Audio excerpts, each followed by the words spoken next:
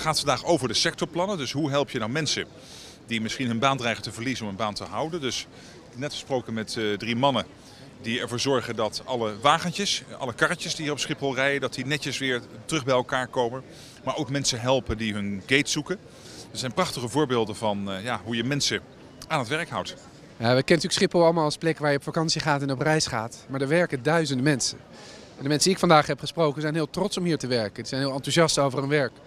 En zijn ook heel blij dat ze een baan hebben. Ja, twee maanden nu. Twee maanden. Ja, we hopen dat uh, iedereen tevreden is. Okay, ja. Wij werken hier uh, uh, vier dagen en één dag naar school. En wat doe je dan op school? wij leren Nederlands, Engels en rekenen.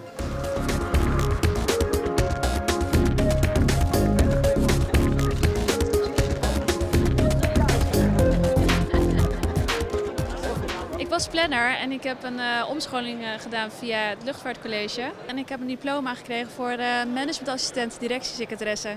Hoe was het om vandaag je diploma te krijgen van Rutte en Ascher?